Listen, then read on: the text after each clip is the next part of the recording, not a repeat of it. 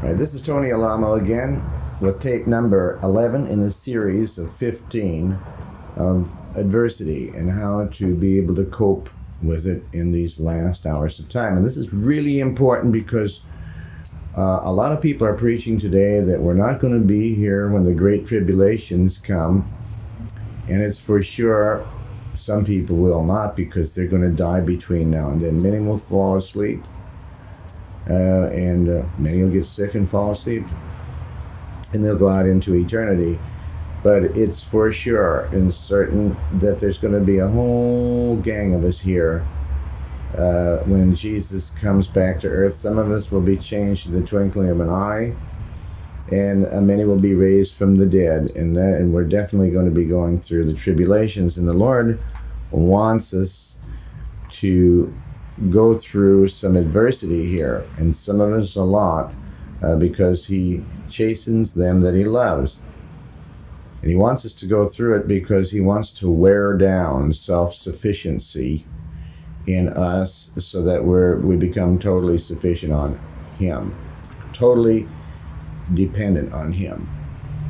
Because dependency on God complete and total dependency on the Lord is Christianity. That's the essence of Christianity. People that are not totally dependent on the Lord are not Christians. And we have to grow up into the fullness of that. Now, people today are trained to be self sufficient. And this is the essence of Satan. When people say, you know, uh, think and grow rich, be your own man, uh, I did it my way. And we're trained, we're actually totally brainwashed by the world to do things and be self sufficient. But in the Bible, we learn that God wants everyone to uh, get that worn off. He wants us to live strictly to His code, His word. And that means total dependency on Him dependency on the Lord doesn't mean that you don't do anything. As a matter of fact, what that means is that you pick up the Word, you study it word by word, and live according to what it says. And that means you do exactly what the Word of the Lord tells you to do. And uh, this particular tape in this series is we're going to call. Uh, the power of weakness. And that means weak, the weaker we ourselves come, become, in other words, we get all that my way out of the picture, then the more powerful God becomes in our life. And God uh, is exalted greatly, and he gets far more praise and adoration, and people see God more when it's actually uh, an impossible situation. And in the Bible, you can see when God turned, upturned Egypt, He overturned it. He did all the great and mighty miracles there, and made it to where the people. Um, they was the strongest nation in the world, and they actually um, saw that this was not by any man's doings, but it was uh, God. It wasn't Moses' doings but it was God. And Moses was so frightened by God because he knew that he'd wind up in hell if he uh, was sufficient on himself, of himself.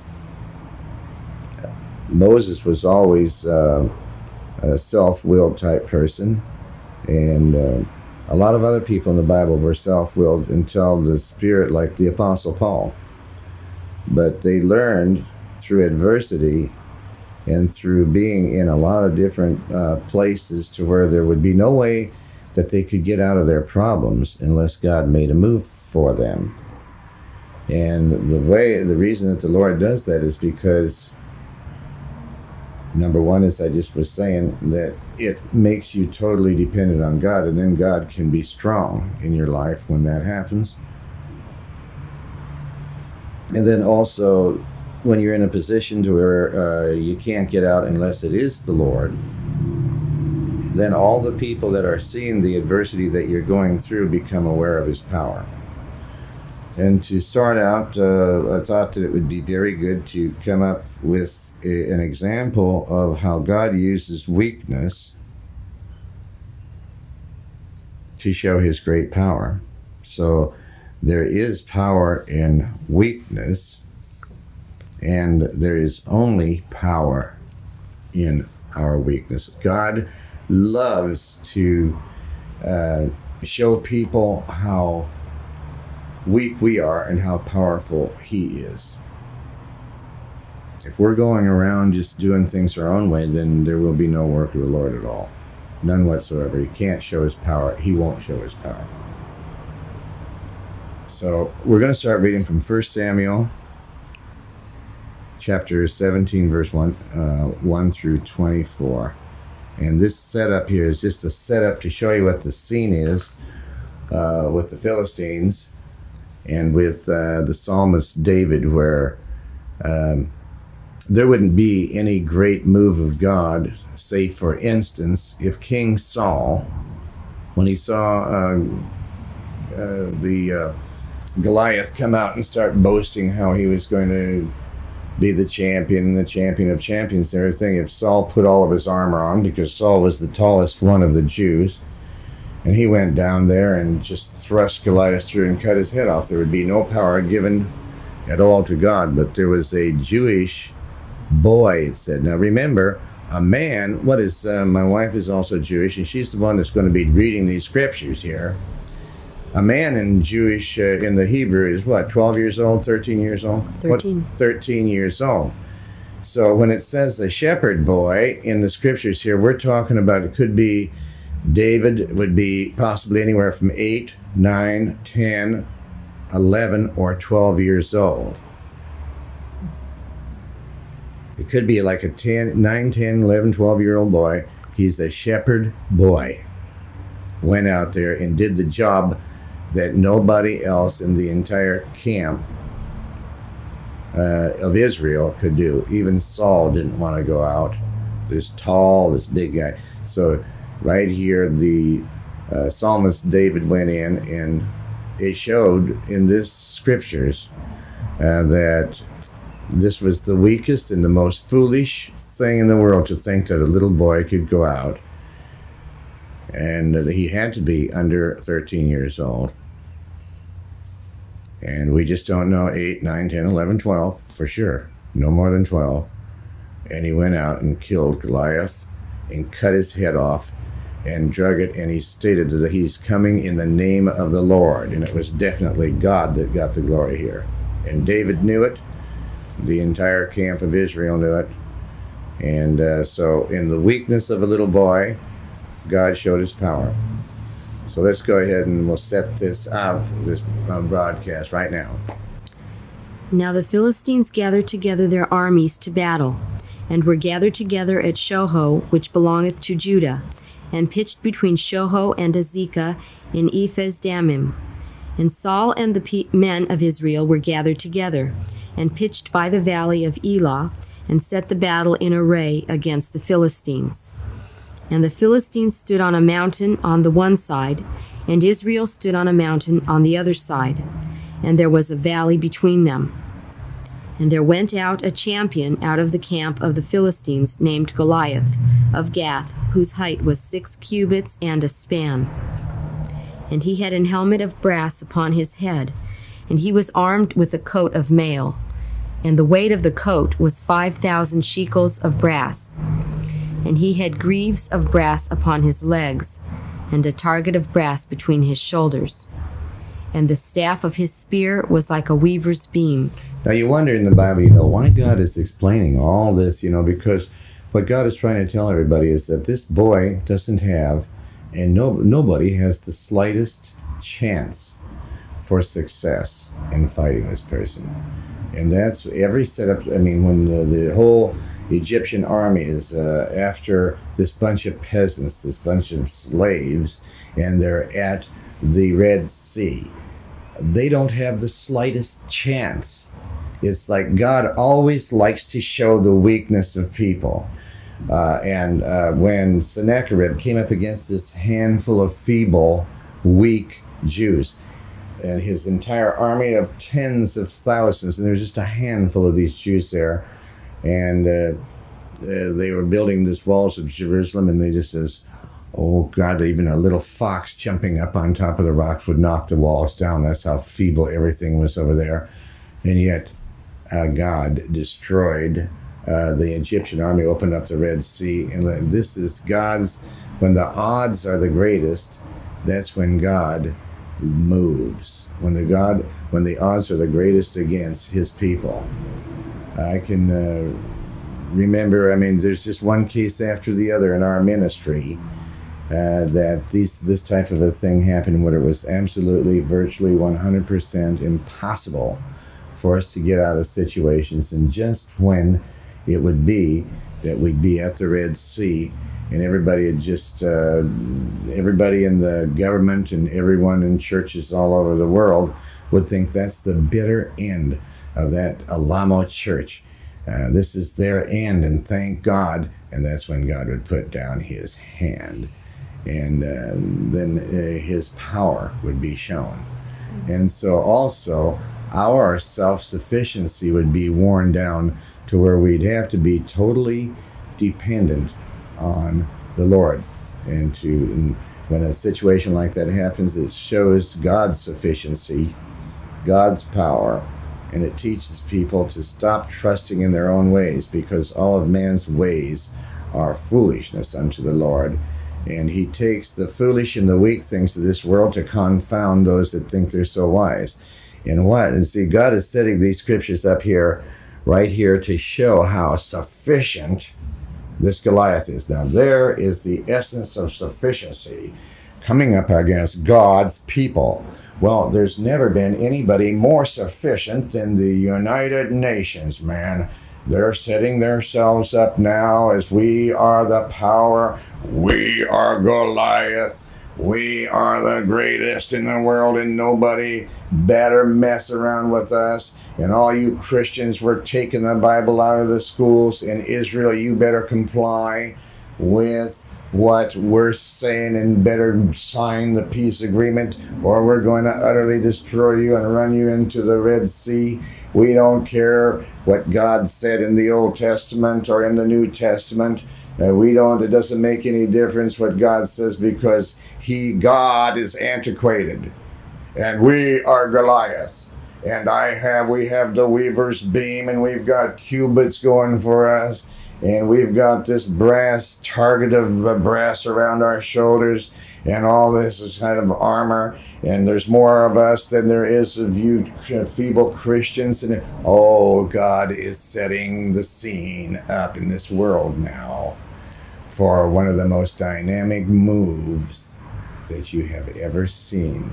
Mm-hmm. And the more we trust that, the more we're going to be exalted ourselves because we're so weak in comparison to this great Goliath that God is going to be able to show his power. I just went through a circumstance that it was virtually impossible for me to be here bringing this message here today, and thank God that I was weak. I'm the type, and God always does this a lot of times with a person uh, that thinks they're so sufficient. I've always been extremely sufficient in my life. And God wants to wear that self sufficiency of mine completely away to where I'm totally and 100% completely sufficient on God.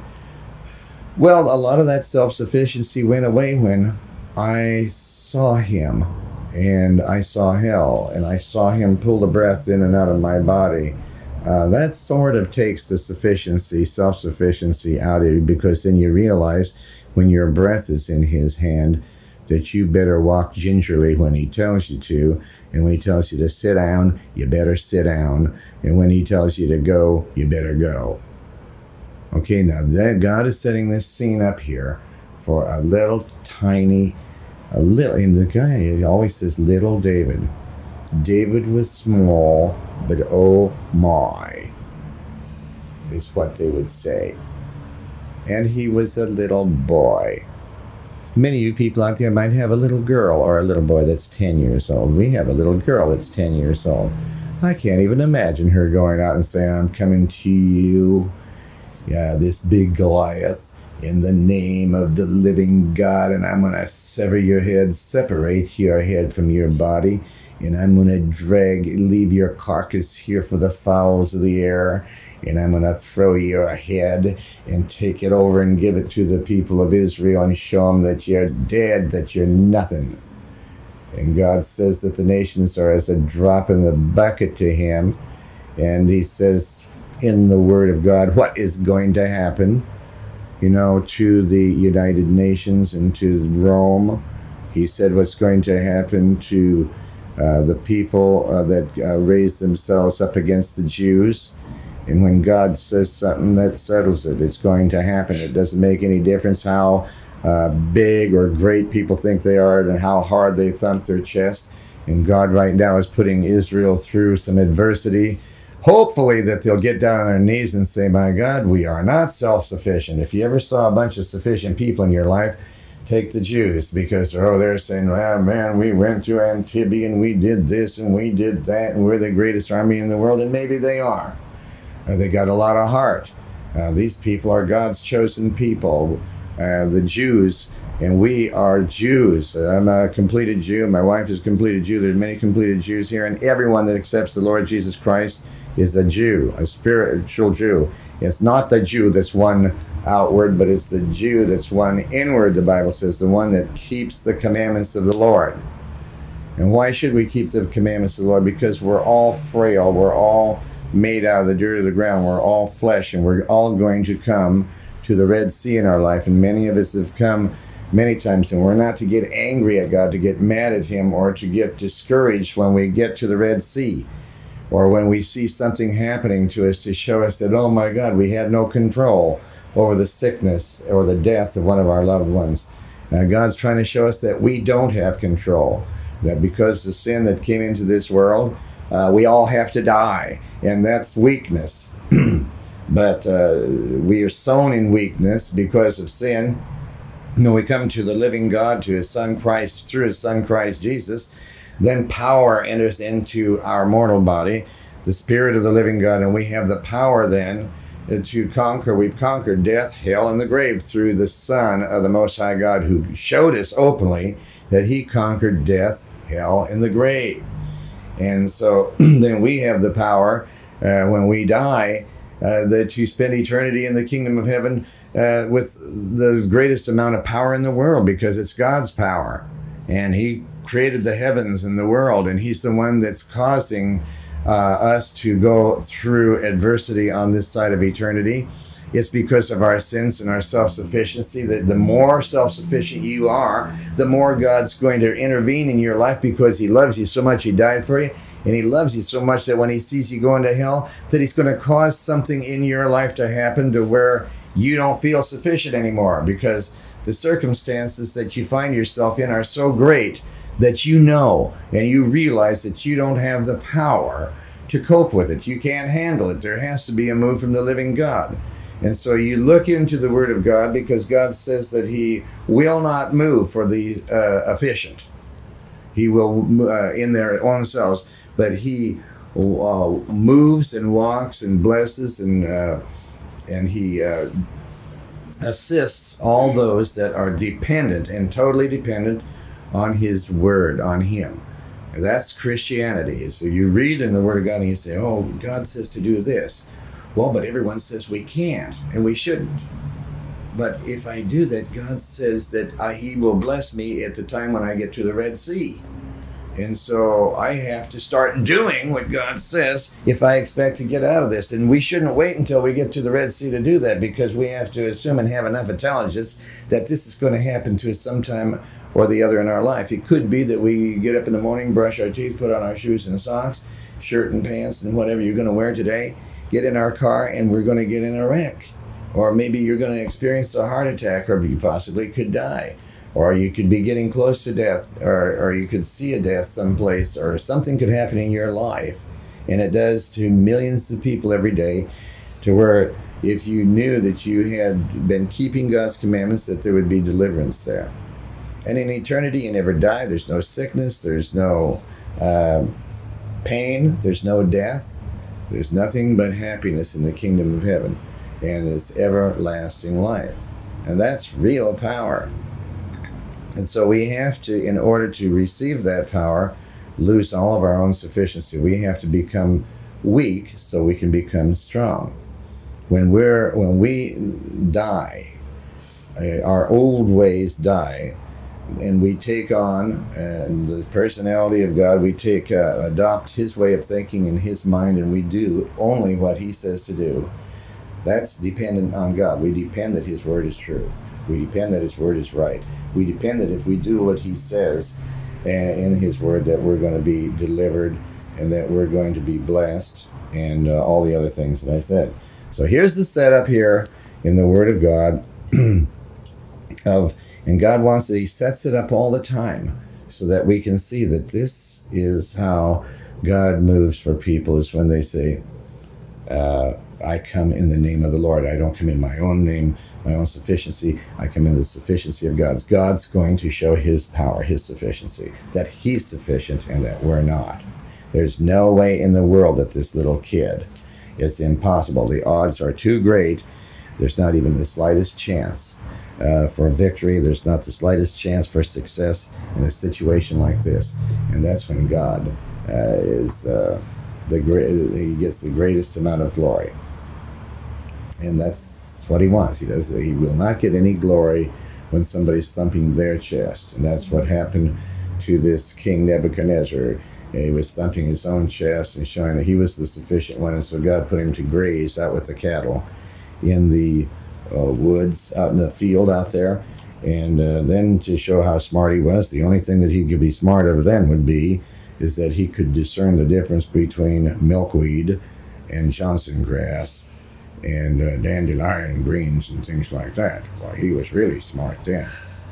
Because he'd snuff his nose up at uh, the uh, weeds and so on, and he'd just only chew on his hands and knees on Johnson grass and lemongrass and the good stuff. See, that's what happens when uh, you're really smart, you know, and you're sufficient. Amen? Amen. You can become, tell which is weeds and which is grass. Amen? Amen? So do you want to get put in that position, you know, a great king? Or do you want to just let the Lord bless you so that you don't have to wind up in the in the weed and grass field eating grass like a cow? Okay, then go ahead, sweetheart. And the staff of his spear was like a weaver's beam, and his spear's head weighed six hundred shekels of iron. See, God just keeps building up the sufficiency, building up the sufficiency, because He's going to lower the boom here in a minute. Okay, then what? And one bearing a shield went Say, oh, before oh, him. Sufficient. Oh, man, even had somebody else to help him be sufficient. Okay, then what? And he stood and cried unto the armies of Israel, and said unto them, Why are ye come out to set your battle in array? Am not I a Philistine? And Am ye, I not sufficient? Okay, then what? and ye servants to Saul? And you, a bunch of weakies.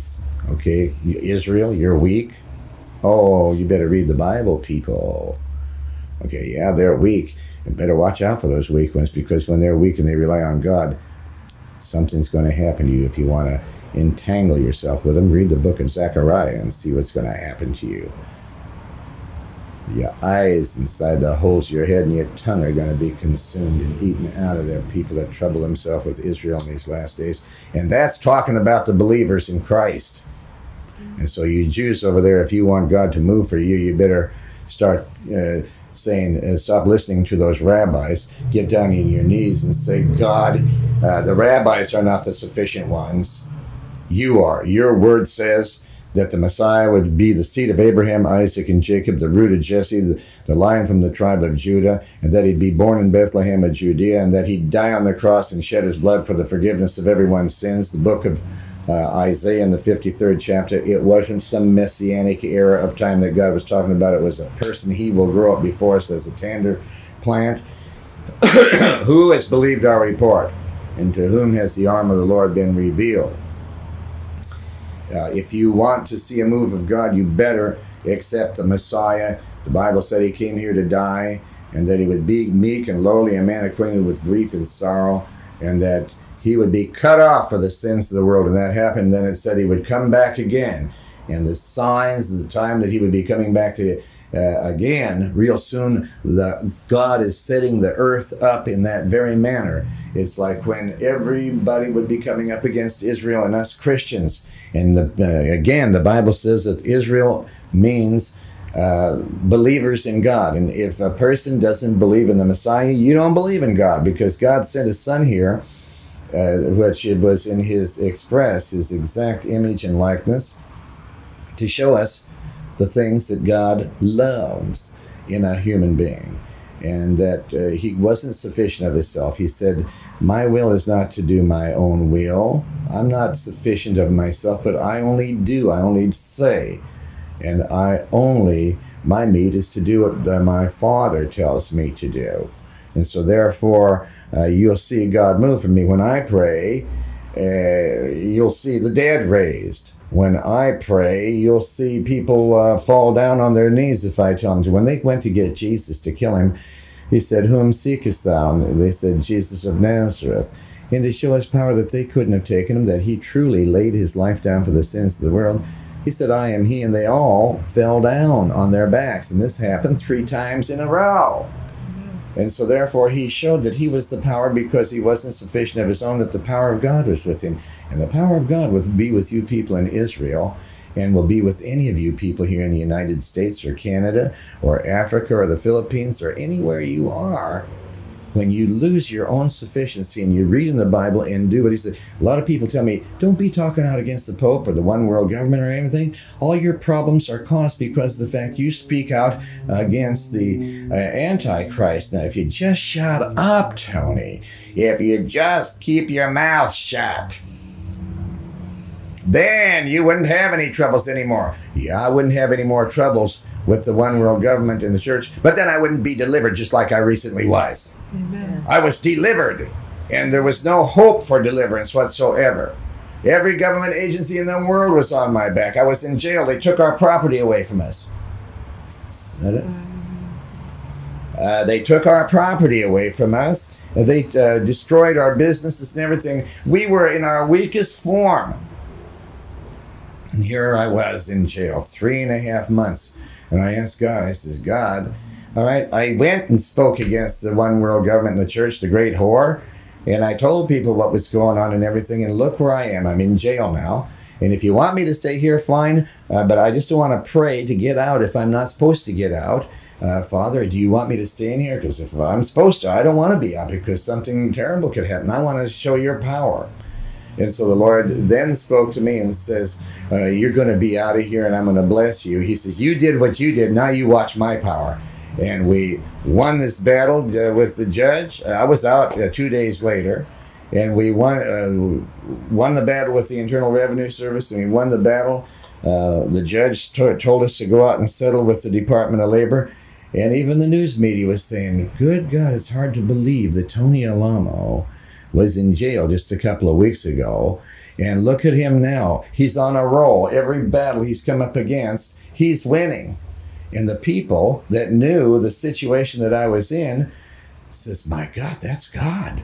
I mean, mm-hmm. there's no way that that man could have got it. I had bail compounded against bail. There was no way I could even get out on bail. They bailed me out on one thing, and I still was in jail. I won one case, and I still was in jail. And then I got out, and I'm out now. And praise the Lord. Amen. God showed His power in my weakness. Everyone saw how weak I was. Even as sufficient as I was before, I was totally weak. And look at this, I'm out. I'm talking on the air right now. And God will do the same for you if you trust and do everything He says. But He won't do it for the sufficient person. So, therefore, you people must know that I'm not a self sufficient person. That I did, or God doesn't deliver. He will not deliver, He will not bless the sufficient. Sufficiency is Satan, inefficiency uh, or like weakness, uh, your own weakness, but uh, following God because you know He's strong, that's power. So there's power in weakness. And we have to stop now for station identification, and we'll be right back. This is Tony Alamo, so stay tuned.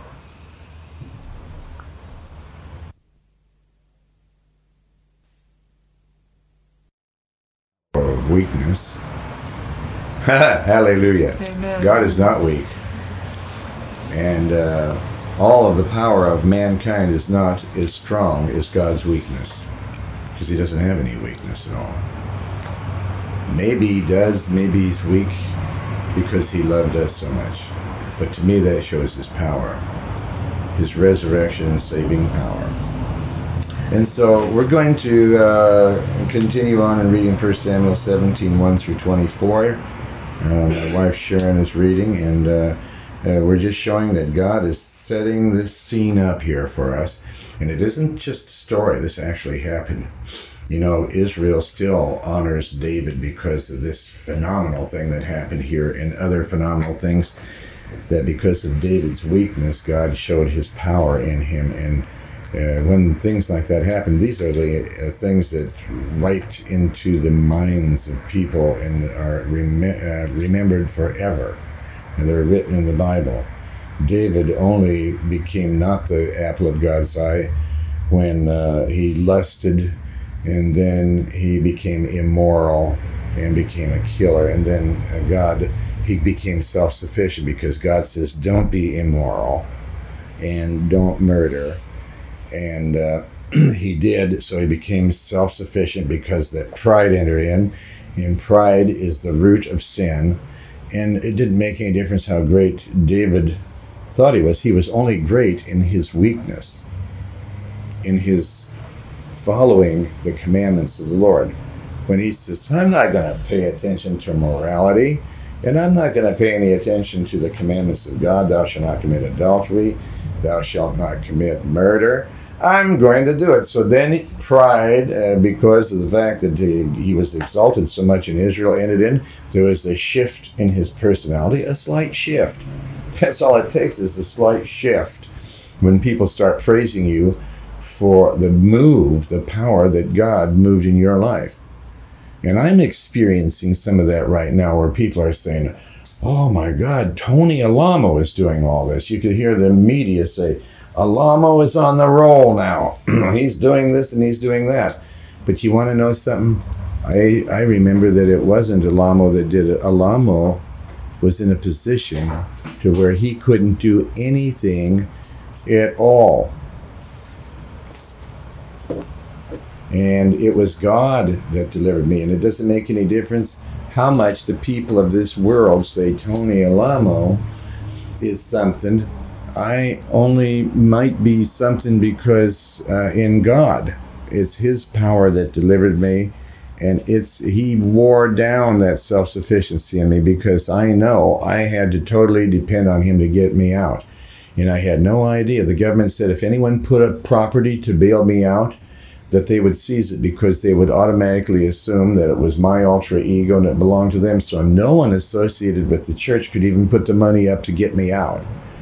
And then the night, uh, uh, then there was a time that came that uh, Bob Cole, he was a bail bondsman in Fort Smith. And uh, I was telling him about how God spoke to me one time, and he says, You know, Tony, I wouldn't say this if you hadn't said that God actually talks to people. And he said, God never talked to me before in my life, but he says, One night I was dead sound asleep and I woke up, my eyes just popped open, and I didn't know why. And he says, I rose up and I heard a voice say, Get Tony out of jail. And he says, I knew because of the intelligence that was in that room what Tony it was. It was you. And uh, he's unsaved. He, he says he doesn't want anybody to think that he is saved or any part of our church, and he wasn't. And he put up his business and his home and he talked to other people to put their businesses up in their homes. God talked to him and put it and he said there was like a, a spirit that just moved me to do it and i could work day and night day and night tirelessly to do that and uh, I couldn't stop to do it. He said, "You know, Tony, I have never, and nor would I ever do this for my brothers, my own three brothers. I would not do that for anybody in this world. And I would not, if it wasn't for this voice, I would not have done it for you. But this voice will, and my wife got the same spirit. She just felt to do it. And we're both unsaved.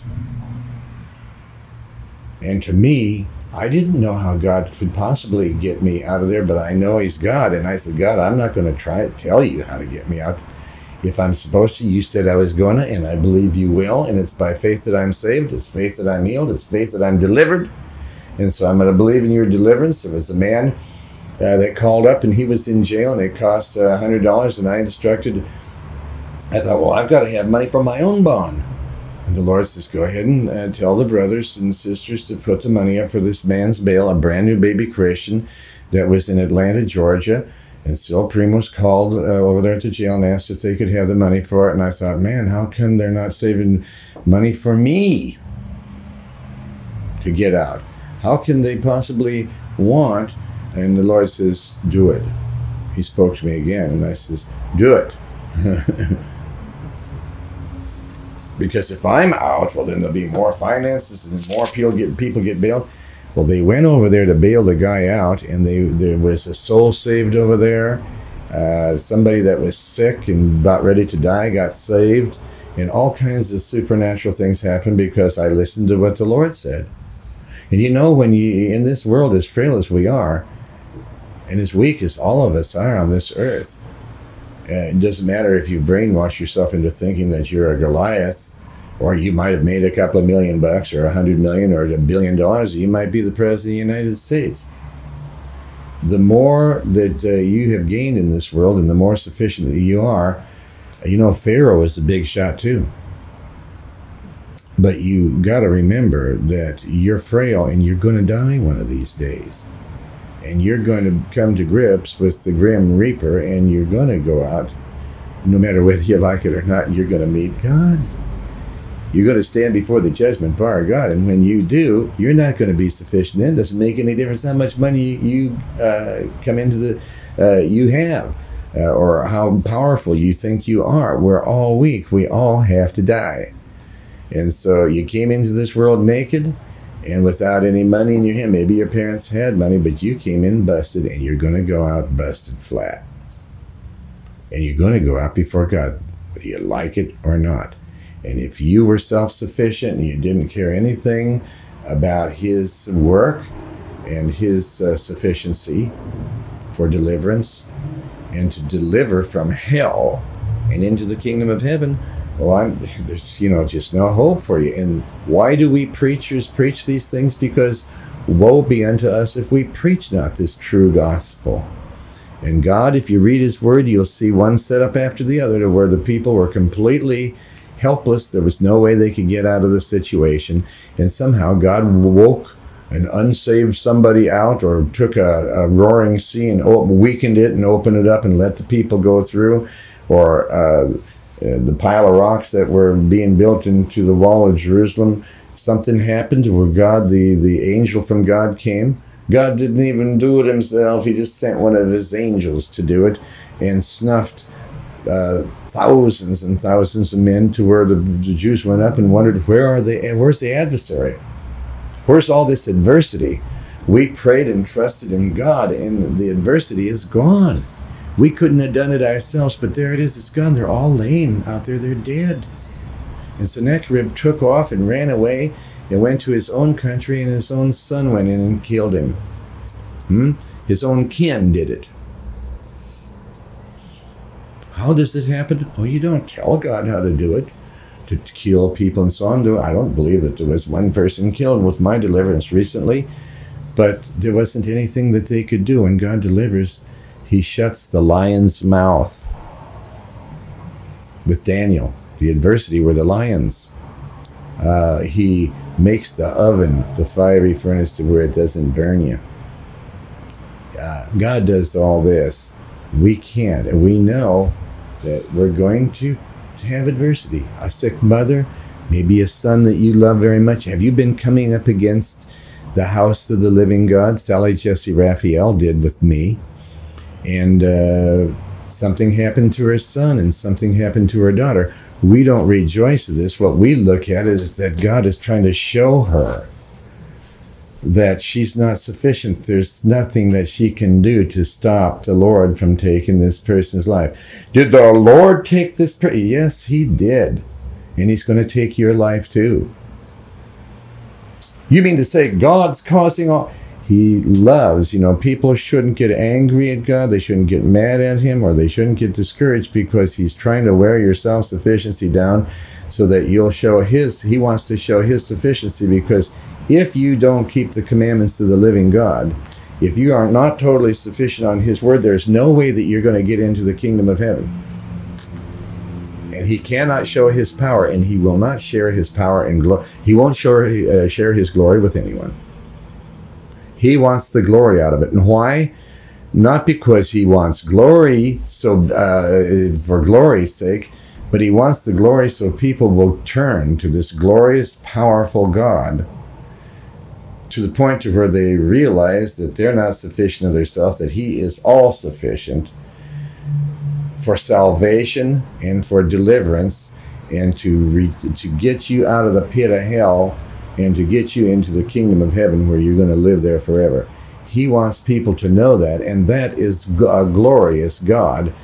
Uh, he figures and he knows that the, the the chastisement or the adversity that you're going through right now hurts and stings for a while, but when you weigh it out with the final results of eternal glory and no death any longer, no pain, no sickness, no disease, no more relatives dying, no more death, and to just be happy forevermore. The little bit of adversity that we go through and the spanking that he has to give us and the lessons that he has to teach us will seem very mild in comparison to if you'll just give, say, uh, something happened today to me that was just horrible. Uh, but it must be the Lord. It's got. It is the Lord. It's definitely the Lord. He's teaching me a lesson, and we examine our souls, and we look at our souls and say, "What is it, Lord, that you're trying to work on? Am I becoming too sufficient? Am I a do-it-yourself kit? Am I uh, doing something here on my own that you don't want me to do?" Then you run into the Word and stay in there and just start doing everything that He says, and you'll see that deliverance will come. But if you keep fighting the house of God, if you uh, keep fighting God's chosen people, and that that is not, this is the Jew, the born again Christian. This is God's chosen people. He says, "Those that come unto me, I'll come unto you. Those that turn their back on me, I'll turn my back on you." In Israel, he put He's allowing the six billion dollars or whatever it was to be yanked from you. He's uh, showing you that you're being compassed round and about by every enemy in the world, and that the big powers. This is all coming from Rome, but no matter where it would be coming from, get uh, to God. And the only way the Bible says, the Old and New Testament says that you can get to God is through His Son, the Messiah.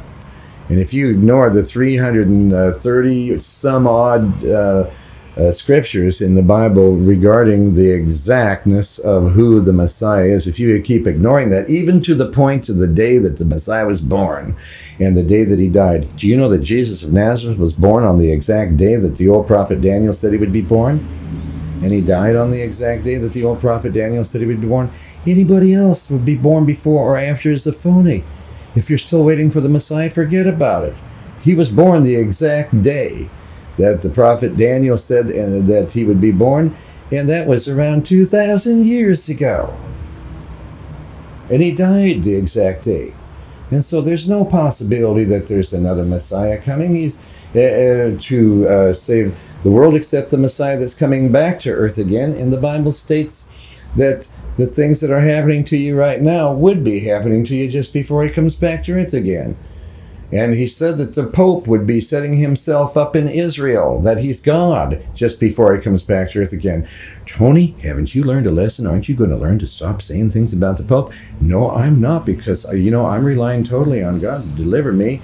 I have to do what he says if I want to get delivered from the next uh, adversity that comes up. And so I have to keep telling, see, I'm not afraid of man because that's not the beginning of wisdom. The fear of the Lord is the beginning of wisdom, and the fear of the Lord is wisdom. And so I'd rather be wise than stupid. Okay? Now, eventually we're going to get to the, the end of these scriptures here uh, that my wife is reading, but I just had to uh, set this up with you also in case, you know, you're a busy person and in your sufficiency. And um, so let's uh, start reading. If you're uh, so busy with your sufficiency that you can't listen to the Word of God, then do it before God starts cutting you down or cutting some of your family down to where He's going to make your heart break into a million pieces. It's better to do it from just wiseness uh, or from the fear of God that He might do something to you. And it's not that He might, He will. Why? Because He loves you. He chastens them that He uh, whom He loves, and uh, the Bible says that you're illegitimate children illegitimate children if there's no chastisement, if there's no adversity in your life. Your own father and mother spanked you and did things to you like that and cut you off because they loved you and they didn't want to see you getting gangs on narcotics and drugs and things. And how much more our Heavenly Father. He died for us. His Son, He sent His Son to die for us. He loved us so much. And so you know that after we are saved, He loves us even all the more uh, and so he doesn't, when he sees this going on in our own sufficiency, he wants to show us that that isn't the way. That isn't the way. You got to get right. And how do you get right? You open up and please, only the King James Version of the Bible. There is no other version that's of any value except the original Hebrew uh, and the Aramaic and the Hellenic Greek, which is the Greek written and spoken by the Jews. So please, only read the old King James Version of the Bible because there are no twists or turns and you won't get tripped up that way. Whether it's easy on you, see, God doesn't want us to live a life of ease and um, self uh, indulgence and things like that. That isn't the best thing for us. That's why Jesus denied himself. That's why God got the Israelis out onto the, delivered them from Egypt and took them from that even though they were oppressed, they had uh, all the different things to eat. He took them out onto the desert so that their flesh would be crucified, so that there would be self denial, so that there would be sufficiency on the living God. God could have fed them all the meat and potatoes that He wanted, but He didn't want them to have that. He wanted them to have a, a life of self denial and to deny their self sufficiency and to be totally and completely sufficient on God. And when they did, they wiped out every nation there was. And they went through the Red Sea. And the main, the bottom line, the big picture is to get into heaven, and whatever it takes. Let's praise and thank God. Don't be angry at him shake your fist at him like the Bible says that you people are going to do. A lot of people are going to do. Don't do that. That won't do any good. No one can fight God. No one can fight anyone that can take the breath out of your body no one can fight anybody that could uh, uh, open up the Red Sea and then drown an entire world's strongest army. No one can um, fight the person uh, that made the heavens and the earth and the fullness thereof and made us out of the dirt of the ground and blew his breath into us and saved us and made the only way of escape out of this world. And you better read the Word of God to find out what that way of escape is, and it is not through our own efficiency, it's through the efficiency of the living God. Now, here's just one of the many parables in the Bible that tells of uh, how a little boy, completely uh, impossible for him uh, to have success, but with God, he was extremely successful and is remembered as being the, uh, the most successful of Israel, with the exception of the Lord Jesus Christ and some of the other prophets. Okay, then what? Why are you come out to set your battle in array? Am not I a Philistine, and ye servants to Saul? Choose you a man for you, and let him come down to me. If he be able to fight with me, and to kill me, then will we be your servants. But if I prevail against him, and kill him, then shall ye be our servants, and serve us. And the Philistines said, I defy the armies of Israel this day. I defy God's chosen people. And that's what people are doing today. That's what the one world government and church, the President of the United States is doing, the Pope. You're defying God's chosen people. And I got news for you. I wouldn't be in your shoes for all the money in the world and for all the gold and diamonds and rubies and anything. If I was given the world, I wouldn't be in your shoes. How can you be so stupid? Okay, just read the word and see what happened to other guys that thought they were hot stuff. Anytime that you think you're so self sufficient that the world can't do without you, take a walk in the graveyard. Those guys were hot shots at one time too, and we're still getting along without them, aren't we? You're in trouble, baby. Okay, then what? I defy the armies of Israel this day. Give me a man that we may fight together. When Saul and all Israel heard those words of the Philistine, they were dismayed and greatly afraid. Why? Because they knew they were weak. Okay, then what? Now David was the son of that Ephrathite of Bethlehem, Judah, whose name was Jesse, and he had eight sons. And the man went among men for an old man in the days of Saul. And the three eldest sons of Jesse went and followed Saul to the battle. And the names of his three sons that went to the battle were Eliab the firstborn, and the next unto him Abinadab, and the third Shammah. And David was the youngest, and the three eldest followed Saul. David the youngest. Okay, keep going. But David went and returned from Saul to feed his father's sheep at Bethlehem. The shepherd boy. Then go ahead. And the Philistine drew near morning and evening, and presented himself forty days. And Jesse said unto David his son, Forty days out there saying, I defy God's army. I defy God's army. I defy God's army. Forty days. Wouldn't you get ticked off? Okay, go ahead. And Jesse said unto David his son, Take now for thy brethren an ephah of this parched corn. And you know the United Nations are saying the same thing, and they've been saying it more than 40 days.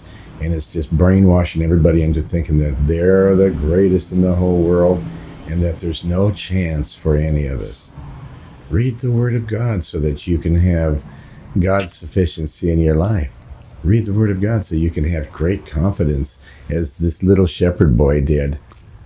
I don't feel weak at all. I know I've got a smile on my face because I know I'm weak, but I know I'm powerful when I have this weakness.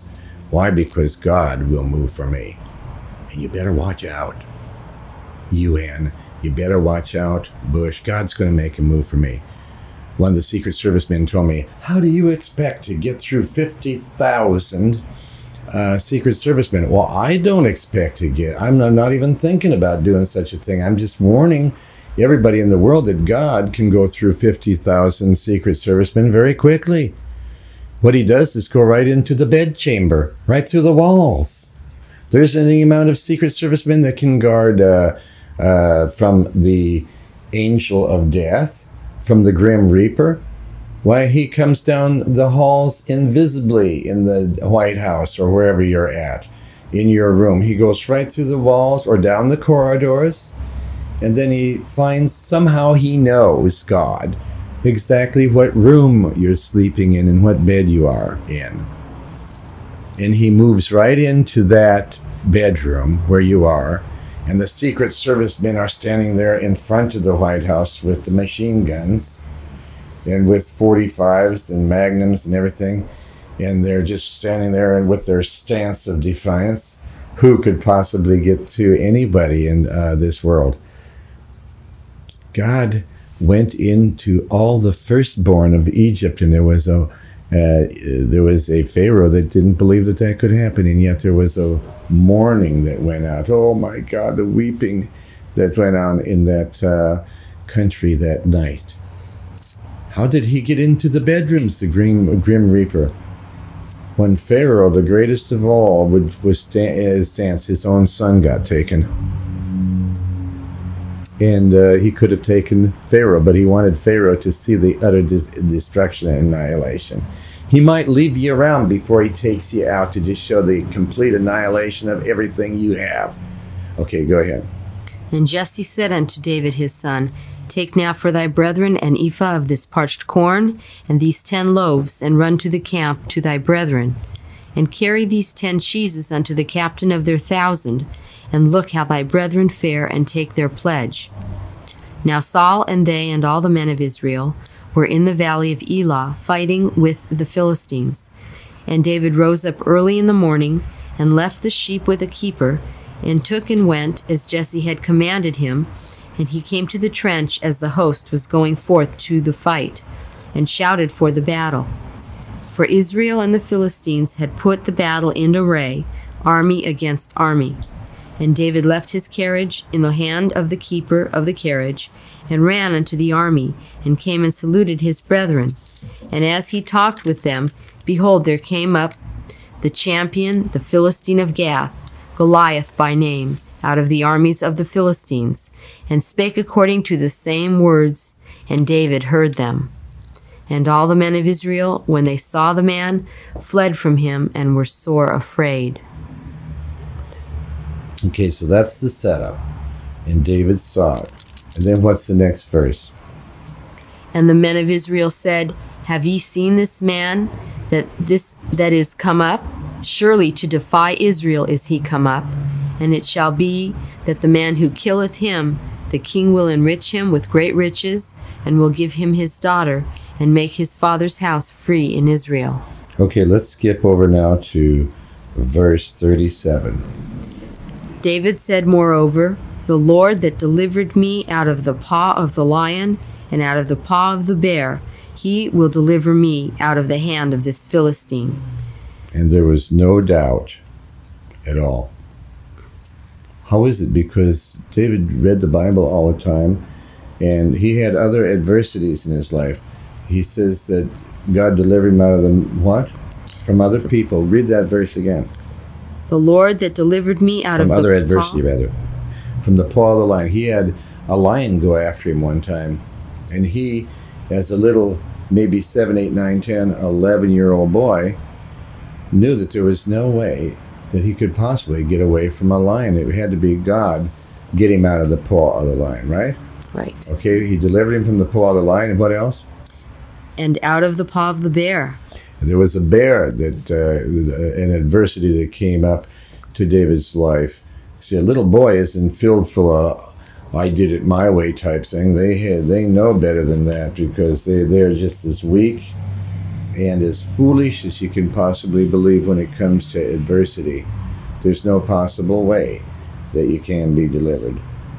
All right, so God uh, gets more and far more attention and far more glory when he works through people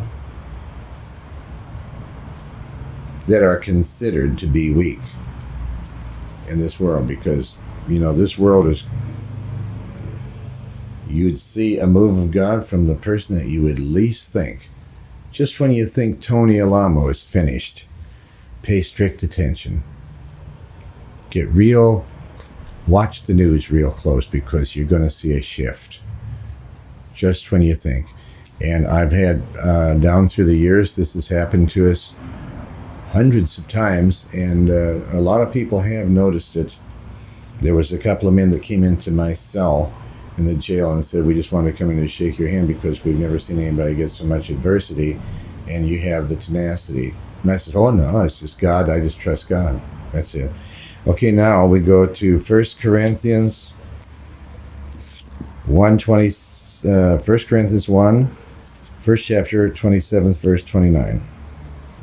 But God hath chosen the foolish things of the world to confound the wise, and God hath chosen the weak things of the world to confound the things which are mighty.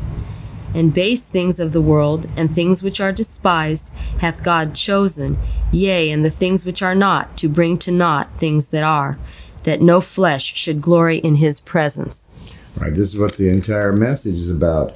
And so make sure that you read uh, that chapter and also the whole book would do very good. Now, 2 Corinthians 12, 9 and 10. And he said unto me, My grace is sufficient for thee, for my strength is made perfect in weakness. Most gladly, therefore, will I rather glory in my infirmities, that the power of Christ may rest upon me. Therefore I take pleasure in infirmities, in reproaches, in necessities, in persecutions, in distresses, for Christ's sake. For when I am weak, then am I strong. All right, well, total dependency on the Lord, uh, it becomes second nature to you. It builds up faith. When you see God delivering you time after time after time, like he did the Apostle Paul, then he could glory in all of his infirmities. Read verse uh, 10 again. Therefore I take pleasure in infirmities, pleasure in infirmities after you see that what that does, adversity keeps wearing down your own sufficiency so that God gets the glory. Then you see uh, real power coming into your life.